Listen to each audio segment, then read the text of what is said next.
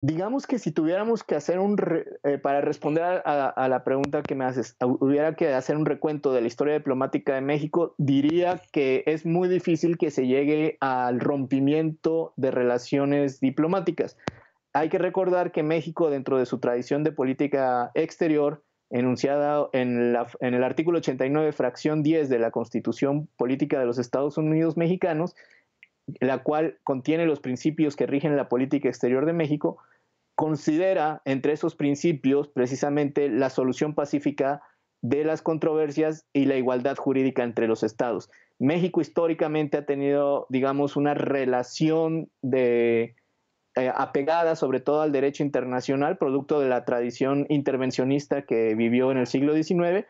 y difícilmente llegaría al extremo de romper relaciones diplomáticas con otro país.